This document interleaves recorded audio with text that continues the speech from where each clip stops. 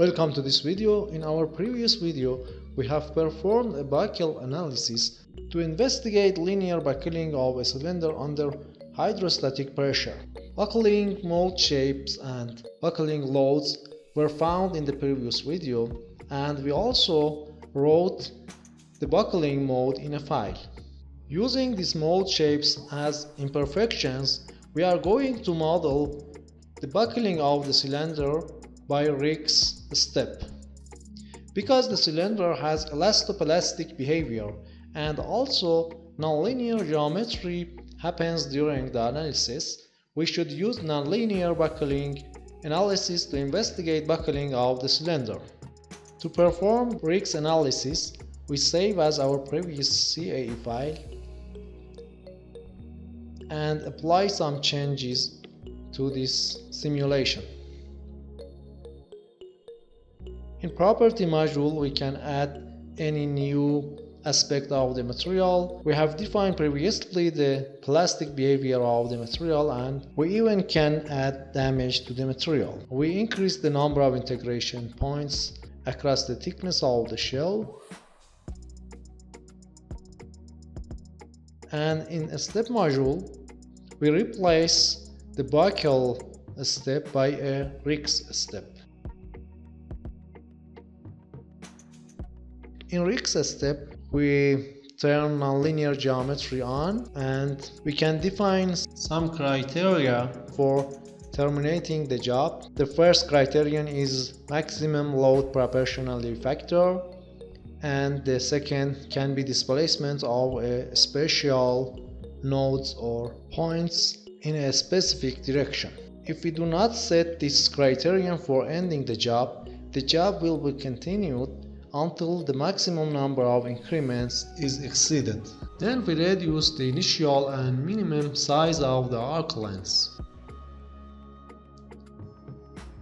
And go to the load module. In the previous simulation, we applied 1 Pascal pressure to the outside surface of the cylinder and we found out that the critical buckling load is more than 1 megapascal. Therefore, we enter 1 megapascal as an initial load in this analysis. The remain boundary condition is okay and we go to the job module. We rename the job because we need the ODB file from our previous simulation. The most important thing is to apply buckling modes of previous simulation as imperfections in this simulation. For this purpose, at first we remove changes that we have done in model keywords in our previous simulation. And now we add some lines before the assembly part of the model. The first line denotes that we are applying imperfection to the model and we enter the name of our previous ODB file and also we enter the number of steps which its results are using as imperfections. In the following lines we enter the number of each mode shape and a coefficient which will be multiplied by the displacement of these mode shapes. As the second mode shape was similar to the first, we enter the first and third mode shapes here and for this coefficient we should take it into account that multiplying this coefficient to the displacement of the mode shape should result in a value which is less than a few percent of the thickness of the shell. Usually, for the next mode shape, we use a smaller coefficient. Now we can submit the job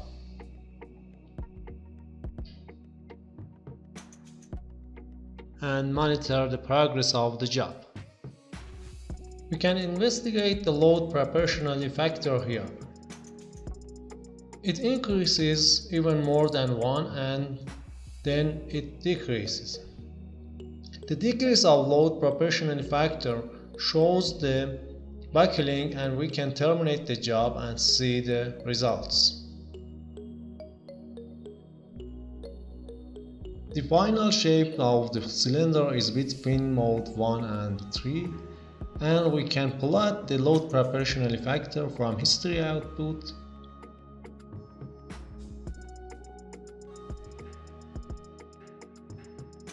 This curve shows that after a sharp increase in the load, we have a maximum and then decrease of the load. The maximum point shows the critical load for the buckling and we can exactly evaluate this point which shows a pressure with approximately 1.32 megapascal which is close to the first buckling load of the buckle step.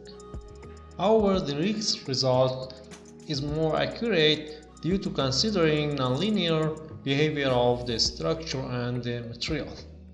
I hope you guys have enjoyed this video. If this video has helped you out, please let us know by a like, a comment or a subscribe. See you in next videos.